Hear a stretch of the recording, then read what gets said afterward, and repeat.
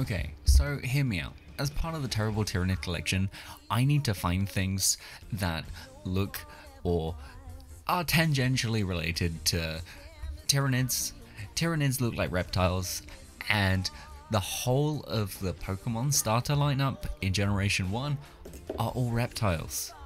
This isn't something that I had really thought about until starting this project, and I thought it was really cool.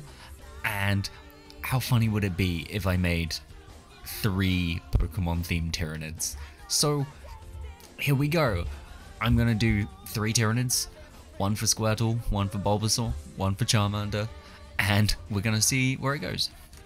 Now, don't worry, I'm not gonna say that these guys are exactly the same, because quite clearly they're not. But I'm gonna use this as an excuse to work on something that I don't normally do.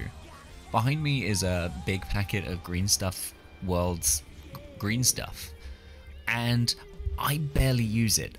I use it mostly for basing and repairing things that I break, but I've never really used it for custom uh, or kit bashing. I'm gonna try and make these a little bit more like their Pokemon counterparts by using some of this green stuff. Now, I can tell straight away that maybe this stuff has been left a little too long. It's quite stiff and it's full of kind of like hard bits, which means this probably isn't gonna be the best stuff in the world for this kind of thing, but it still should get the job done, it's just gonna take twice as long to mix it in my hands like this. Now the first Pokemon up is Charmander, and there's not really much I actually want to do to this guy, other than a little bit of a fire on the back of his tail. Just shape-wise, he kind of matches that of like a Termagant, obviously uh, minus the second set of arms, but he kind of has that lizard-like shape, which means a little bit of fire on the tail should look funny, mainly funny, um, but it should look kind of cool. And making the fire is actually really easy. All I'm to do is kind of roll it into a cylinder and then poke it on the end. And now, because it's such like a, a thick material, I'm just to pinch it between my fingers in like alternating directions. I do have these little tools, I'm to use them to make sure that it's like attached to the tail. Um, they're not really surfaces that kind of like connect, especially since it's been primed. Um, it, it wiggled around until it kind of went hard and then... Yeah, I regret saying that as well. Yeah. Anyway, the fire was probably the easiest one of the three. Uh, just a, a thing on the end of the tail is, yeah, is pretty easy, all things considered. Now, this is the next one. This is Bulbasaur. And the main kind of hurdle to get with these guys was that I have to kind of hide some of the details. This kind of dictates how big the things like Bulbasaur's bulb and Squirtle shell has to be in order to kind of cover everything.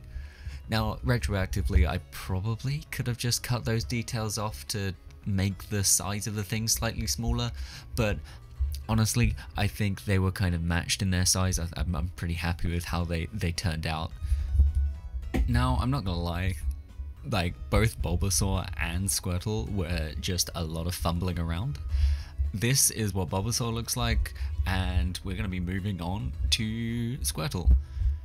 Now, Squirtle is kind of like, I have more of an idea of how I think I'm gonna do this one. It's basically just make one giant round ball and then I can work on it from then. Now trying to get those hexagonal scales onto it was kind of difficult, but I've got all these shaping tools so I was just making like little cuts in between each of them to try and get those kind of hexagonal marks on them. It's not the easiest thing to do, especially on a round shape, but I got it to a point where I thought it looked kind of kind of alright. I know that I can change it a little bit when it hardens because I've got some tools to kind of help with that. But yeah, there's not a lot I can do right now.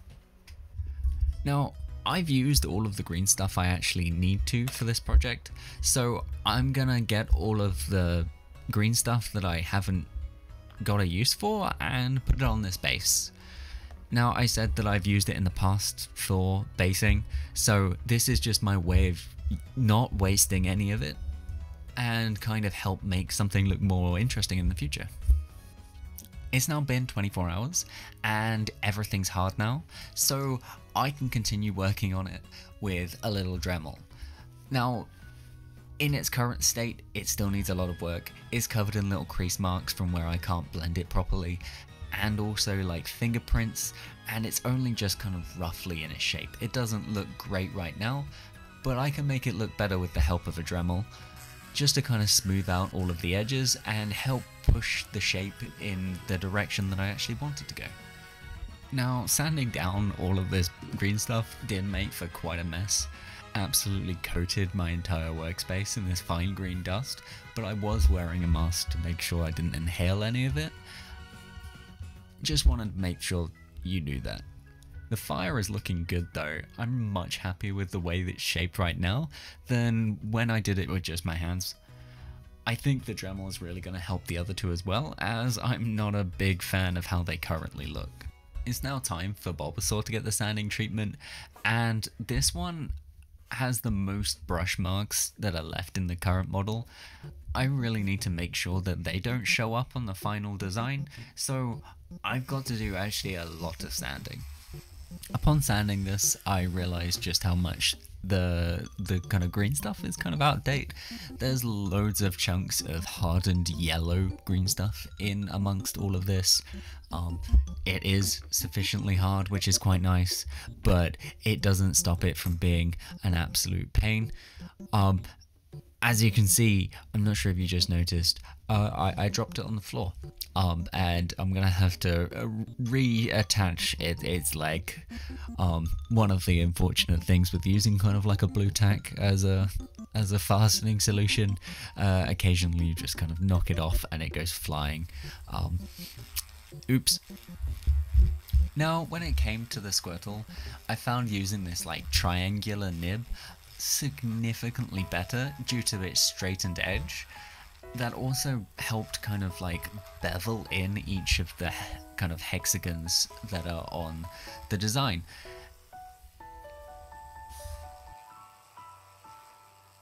And after all of that, we finally made it to the point where we can start painting them. Now, these designs are going to be slightly more cartoonish in nature. They're going to be super bright and vibrant and hopefully they'll look a little bit more cartoony than what a normal paint job of a Tyranids normally looks like. So hopefully they'll look pretty cool and unique. So first up is Charmander. Now I realized that I've got to paint him bright orange and orange paints are never particularly good. We're talking kind of like a, a minimum of two layers probably gonna be more, just because bright orange really doesn't work that well. Um, yeah, I, am not sure I would have done Charmander if I had thought of that before starting. So this is going to be quite quite the slog. Um, it looks alright though. Um, I dry brush it with kind of like a, a mix of the orange with some pale yellow. Probably used a little too much pale yellow, but we're going to fix that with some wash. Now, I've got some contrast paints, uh, some speed paints. They're all really nice oranges. So I kind of make like the highest saturation whilst also kind of like diluting it enough to make it look like an actual wash. In order to kind of keep some sort of shadowiness, I also grab some Gravelord Grey and I kind of dilute that in around kind of the chitinous material. This to help provide shadows because you don't really get like a shadowy effect when you use like a super bright, vibrant wash. So this is a good way of like counteracting that by making those kind of like shell bits like shadowy. And those shell bits we're going to paint with this contrast paint. Now, this is one of the few contrast paints I actually own. I tend not to use contrast paints that often, mostly because I like to mix and make my own colours. It's pretty hard to do that with a non-dropper bottle, so I only really ever use these contrasts when I want to use that paint colour specifically. Thankfully, this color is really close to Charmander, right? So I've themed the skin mostly around kind of Charmander's belly skin, but I want that kind of bright, saturated orange to be his kind of uh, shell material. And so I'm going to use this paint that I've, I've, I've almost never used, to be honest. However, it went on really, really well. I'm super impressed with it. Um, I only did like one layer and it's covered in messy kind of over paint from the, the skin. And it just went over that and you can't even tell, which is really cool. Um, but yeah, typically I, I tend to use my speed paints more as washes than actual speed paint these days. Um, so I'm probably not going to use this paint that much, but I'm super happy with how it's turned out. I now need to paint all of the green stuff. I've primed it white, but I'm also going to put a titanium white over the top of it. Now, I've noticed that my titanium white is actually starting to get really thick, and that's because uh, it's almost out. This to be like my first like proper bottle of paint that I've uh, completely used up almost, um, which is a little bit interesting. But yeah, I had to, I had to brush primer it. Uh, th this is simply because I, well, I can't spray it, it's already partly painted. Now, if I had thought of that beforehand, I probably would have done the green stuff and then primed it. And yeah, I can't help but drop things on the floor apparently. Now, when it comes to making the fire, what I'm going to do is I'm just going to blend it on the brush by mixing together the red, the orange, and the yellow to make kind of a cartoony-esque fire. Now, I may have jumped the gun a little bit because the white underneath wasn't fully set, kind of blending everything together, so instead of having like a deep red, I now have a pink, instead of having an orange, I now have kind of like a peachy colour, and the yellow is now also like a bright orange as well, and I can't add enough yellow to kind of get away from it. So I'm gonna have to let this one dry and then go at it again uh, in order to do kind of like a second pass to make it look better. This time I'll actually make sure that it's dry before I'll move on to the second layer. A second go at the fire has really helped now. You can tell that the blending just looks a lot better when you do it properly instead of rushing things. And yeah, I'm super happy with how the, the fire looks. I know it's kind of a little bit of like a cartoony style fire that typically fire doesn't start red and then go yellow at the top, but it, I, it, it it's satisfying. It looks satisfying. I quite like it. I go through a super similar process with Bulbasaur by making kind of like a dark green fade into a light green, hopefully trying to end up with some yellowy tones up the very top, but I'm happy with it just being dark into light green. I think that's going to look quite nice on it, even though that's not really part of like the design of Bulbasaur. Typically it's like a one color, but I, I think it'll look better with a gradient. The Squirtle model is going to be really straightforward. I've basically just got to paint it brown, I'm going to dry brush it, and then I might even do just a little bit of a wash so that you can get a little bit of contrast in between all of the different hexagons and that's gonna be pretty much the whole of like the Squirtle shell done. He has like a bright white um, rim around it anyway, so I don't even really need to do much to that. And he'll look good, to be honest. Now, when it comes to these two, getting the colours right is to be super important to making them look like what they're supposed to. Because both of them are in kind of that blue spectrum, I've got to make sure that they don't look the same. So I'm gonna split this by doing one as a faded ultramarine and the other one as a turquoise to really kind of bring out the difference between the two of them. I can immediately tell that I got the right colours because they're starting to look a lot like what they're supposed to be themed around. Already with just this one layer of paint on them, I think I've absolutely nailed it and I'm happy with these colours that I've chosen.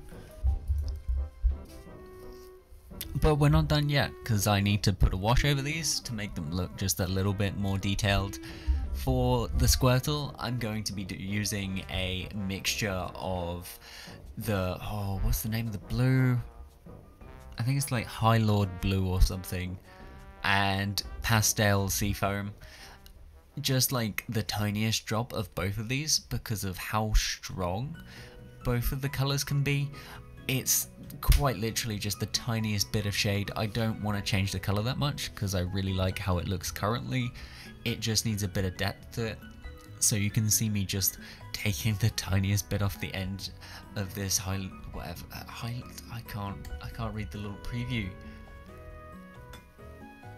Oh Anyway, it looks really really cool. Um I think it ends like in a really good effect. I'm pretty happy that I didn't use too strong of a wash for this uh, to keep that kind of colour that I already really like. Now for the Bulbasaur, I just used the Pastel Seafoam Super Wash Down and I, I genuinely feel like it did nothing. Uh, looking at it now, it looks almost exactly the same. Um, yeah, not not the best version um, of, a, of a really light wash. Uh, I didn't really know what was going to happen, so this was my way of kind of like trying to find out. But once again, I was doing it quite gingerly because I didn't want to ruin the colour that was already there. So I'm not too grumpy that it didn't do anything. Because I would rather it did nothing than mess the whole thing up. Now, out of fear of kind of doing anything wrong, I didn't really want to do dry brushing on the skin just in case I kind of ruin things, especially since I've already done the shell. So I do a light bit of glazing instead, just to kind of bring out some of the highlights. All that we have left now is the little tiny details. So the way I wanted to do the claws as if they were doing different kind of moves It's very easy to be like, oh, the Bulbasaur is doing uh, Vine Whip. So I, I painted the claws bright green. I also kind of painted the toenails green as well. That's just because I didn't really know what else to do The kind of like hoof-like effect. Um, and when it comes to the Squirtle, I didn't really know what to do, so I've just kind of, I, I painted them dark blue. Um, he's doing, I don't know, Hydro Cannon or something. It doesn't really make any sense. Um, but the, the, the Bulbasaur makes more sense.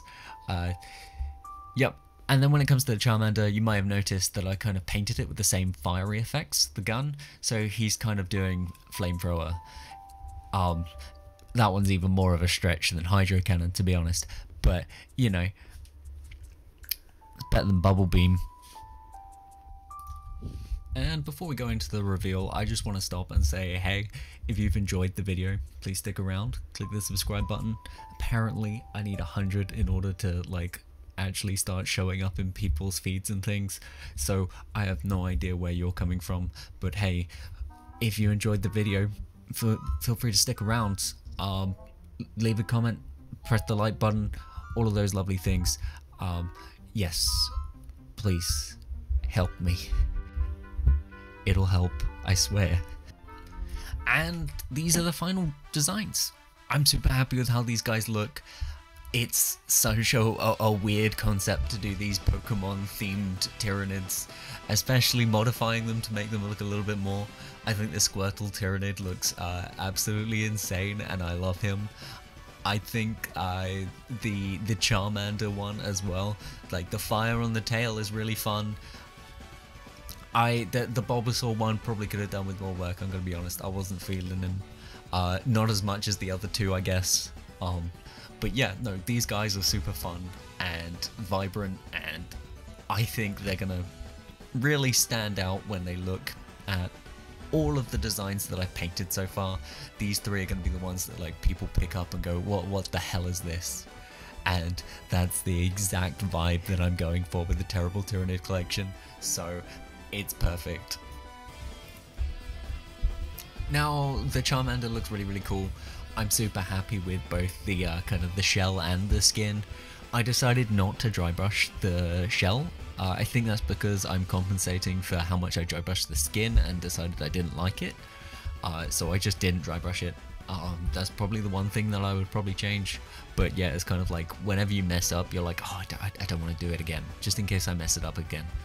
Um, I'm super happy with how the fire looks. I know it's kind of like a cartoonish style design. Um, but I think it's kind of perfect for this. Um, and I think as a model, like it's just a fun looking model. Um, I, I super enjoyed making this one. I think just because this one was more straightforward than the others, that I prefer doing this one over the other two. Now, I can't help but feel like maybe it's a little bit poetic that uh, the Bulbasaur kind of got left to the side. I, he, he needs another coat over the bulb. I, he needs repainting really. Um, it just it it wasn't doing it. Um, I, I'm just I just preferred doing the other two to be honest. The the bulb itself is like a pretty complicated shape, so when it wasn't really looking like the right shape and I, sanding wasn't really helping, I kind of just like lost heart on this. Um, yeah, yeah, no, out, out of the three, he's definitely the weakest, but I, I, I really enjoyed the colours. I think the teal was the perfect colour for the skin, and the the green to kind of like the light yellow was was a good choice even if it isn't fully visualized in this kind of design. Um, it definitely adds to like the visual variety but it's yeah no. The the design isn't it chief? I'm, I'm sorry I, I really like this Squirtle. I think this is the one where like the joke lands, right? Like the whole point of this is that it's funny. I think this is the first one that you kind of would go and be like, oh, that one's a Squirtle, right? The others take a little bit more like of a sales pitch to be like, hey, look, it's Charizard. Uh, sorry, not Charizard. Uh, hey, look, it's Charmander. Um, maybe I should do the flying one as Charizard. Oh, I haven't decided what to do the flying one as yet. I think I think I might do that. Anyway, Squirtle's looking really cool. I'm really happy with how the shell came out it was pretty daunting to get those kind of hexagonal things on. I think I just accepted that they weren't going to look perfect, and in a way that kind of adds to the charm of them. The kind of like dry brushing as well really kind of like helps bring out those shapes. I'm super happy with the choices that I made, even though I wasn't really confident at the time. And yeah, no, uh, this guy, I absolutely love him. The only criticism I would probably do is that maybe the claws should have been a different color. It just would have like made them look they would stand out against the skin. Right now they don't really stand out. And that's the terrible tyranid collection for this week i guess. Um, i super enjoyed making these ones. Um, it felt like a lot less pressure um, as well as being able to kind of like work on something that i haven't really done before i with the the ones that i've been doing like i i, I felt like i've just been kind of like freehanding it like I already knew like the processes that I was doing. With these guys it's been like uh, a new experience to kind of work with the green stuff in a completely different way and that's been super refreshing. Now there's not actually that many Tyranids in the box left which is um, a little bit of a sigh of relief. Now I'm not sure if I'm going to do those straight away but yeah we're not we're not done with the terrible Tyranid collection yet. We're almost there but but not quite.